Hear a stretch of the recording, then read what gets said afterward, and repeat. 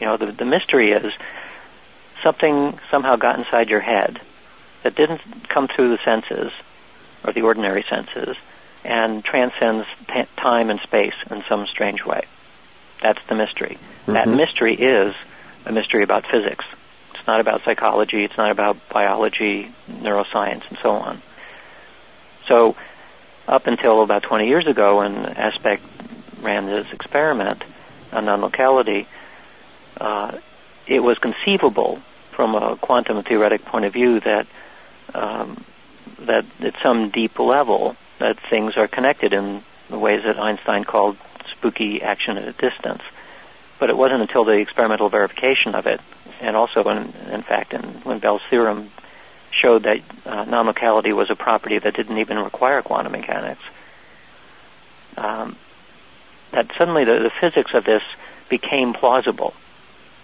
Mm-hmm. You know, we we mm-hmm. often think that neuroscientists and many scientists, even a lot of physicists, believe that classical physics ideas are sufficient to explain how it is that we are aware. In other words, consciousness is identical to brain structure or brain processing. Mm-hmm. And brain processing can be completely and adequately described by classical physics in a purely reductionistic point of view and without recourse to anything strange like quantum mechanics. Well, of course, a minority of physicists and a minority of neuroscientists dispute that idea and are beginning to see that uh, that quantum views of matter and energy may in fact be necessary mm. to describe why something like consciousness or specifically conscious awareness uh, is is with us. But nevertheless, that's still a minority opinion. But so what? Mm-hmm. Psi is a minority opinion as well. Mm-hmm. If you look at the, the, the vector of history on this, I think what what is happening, and this again has to do with this idea of the compass pointing is is slowing down and beginning to point in one particular direction. I think the direction that is pointing is that our previous notions about what we meant by material and by physical are significantly changing. Mm. You know, the dualistic split requires that, uh, I mean, in Descartes' day, that there was mind stuff and matter stuff, and they really did not interact. And that is a large reason why there's this, this um, people have been perplexed ever since then about how, how could those two interact at all. And that, in, in a sense, led to behaviorism and psychology, which is like a mainstream neuroscience point of view, where it's all, it's an organic machine Mm-hmm. And, and, the circuitry in the machine is causing this um, this awareness. Even though nobody can at this point explain how such a thing could be possible. There's right, and they all admit that. Hand waving and tap dancing about things like recursive circuitry, which mm-hmm. creates awareness. Mm. The thing is, I'm not so sure that that's wrong. Uh-huh. That, that may be right. It may be that awareness is an aspect of highly complicated systems but I don't think it can be described in classical terms. And okay. it, I think it requires a deeper understanding of what we mean by matter. And at some point, the difference between mind and matter, the apparent separation, or even the apparent complementarity of the two, will be seen to be an illusion. And, and what I mean by that is that at a deep enough state, you go far enough into matter or far enough into mind, you end up at the same place. Mm. So the way I, I think of it as a metaphor is you take a, a ribbon and you write mind on one side and matter on the other, and if you connect the ribbon in the usual way, then they are completely separate. You cannot get from one to the other, but you can show strong correlations. You know, if you shake the ribbon, the mind side will sort of wiggle, and the matter side will wiggle along right with it in one-to-one correspondence and that that's where that's what the neuroscience view says. That's the way it is. Mm-hmm. brain wiggles and you think, and vice versa. Mm-hmm. I'm saying that. Well, they uh, don't say vice versa, right? I know they don't. okay, uh, or at least not the hard line. Yeah, uh, the hard line basically say it's all brain functioning, and that that's all. That's the, the yeah. zombie model. Mm-hmm. Uh, the alternative is that um, by having a different concept of what we mean by matter, it's as though you took the ribbon and did a half twist and made it into a Mobius strip. Okay. In which case, the mind and the matter side are identical They just look different if you hold the strip at a distance and you can't see that it's a Mobius strip. But with a, a slight twist to your way of thinking about what are we even dealing with, you you can make the two actually turn into one. Mm. And and you can see that very clearly when you bring it up close and you you kind of go along the strip and find out that there is no inside and no outside. But again, at, a distance, which is what I think is going on with uh, with classical neuroscience, they're looking at the problem metaphorically like a ribbon at a distance, and they can't see that it's a Mobius strip. Mm.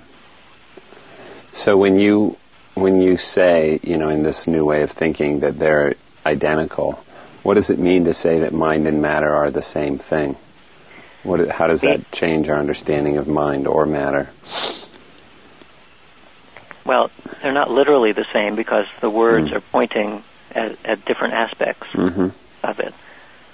Um, and I'm actually pretty comfortable with the idea that a complex system could give rise to levels of recursion that would create awareness as Mhm. we know it. hmm So I, I'm, and in that sense, I'm sort of a quasi-materialist in the Mhm. sense that I don't think that anything, any special substance is necessary to understand consciousness Mm. in a larger sense, hmm but rather that a new understanding of matter will allow it to uh, not only to create awareness as we know it, but also sort of uh, naturally explains why people can be psychic and they also have mystical experiences.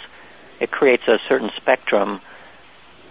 It, I mean, I think of this as uh, if classical physics were all there was, then this, there, you can imagine a spectrum of ways that mind can be, and it stops short just before. Um, well, it actually even further back. It stops short only at conscious awareness. There's not even any unconscious. But then you begin to think about it more, and there's, there's been advancements through Freud and so on, um, and neuroscience, where we know that there's a huge unconscious processing going on, but it still sh- stops short before psychic experience and way before mystical experience. hmm And the reason it's stopping is is largely due to uh, our our ignorance at that point about what do we what, what is the ultimate nature or fabric of reality. And as that fabric has become richer and richer, mainly through developments in physics, um, I think that the spectrum begins to increase. It increases certainly into the psychic realm and probably into the mystical. You want to know why? Yeah. So do I. This is um, it, it, I'm working on this right now in the book, and I, I know it needs to be said, but I'm trying to find ways of saying it that are clear enough so that a, a non a a person who has not spent years reading hundreds of articles and books can can grok it. Mm. I'm, I have not found a way yet to do that, Uh-huh. uh, but that, that's why I'm working on it. But just I'm just going to try to to to talk it. Yeah, great. Let's go in there. So you're not talking about something like panpsychism or panexperientialism or anything like No. that. No, Okay. it, it's much more it's more closely aligned to the to what people like uh, David Bohm and and others since Bohm have tried to do in figuring out what the ontology is. That what's what's our ontological reality given that not only quantum theory but the experimental verification of non-locality and entanglement, which are mm. basically the same thing. hmm What does that mean in terms of the the fabric of the the world that we live in? And I think what it means, and in fact, I've there are a number of books now where phys- physicists who know what they're talking about, at least in terms of the mechanics of the theory. Uh, they they start pushing the ontology of non-locality further and further, and they all reach the same conclusion that if in fact things are entangled, uh, if all it requires for something to become entangled is some contact at some point in its history, uh, then everything in our universe ought to be entangled because we presumably came from one dot, Uh-huh. one Big Bang. Is is that part of the the physics of this? Is that for two things to become entangled, they had to have contact? That's the That is the way that's So- currently described, but I think it, it's probably more than that. I think it, it's, I mean, you can do a double slit experiment and show that a photon is entangled with itself. well, you know, a thing and itself have always been in contact, mm-hmm. like in quotes, and so even a single particle mm. uh, is already entangled with itself. So if two particles interact in some way, then uh, then they become entangled as well. But ultimately, the universe has been around long enough that everything has been entangled with everything else. And this, I, okay, yeah.